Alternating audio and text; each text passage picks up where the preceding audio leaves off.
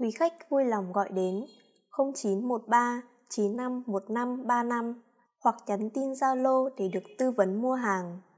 Em và tôi thiết kế và chế tác trang sức 3D theo yêu cầu, giao hàng toàn quốc, thanh toán an toàn. Quý khách có thể mua trực tuyến tại website trang sức vn.com hoặc các cửa hàng gần nhất.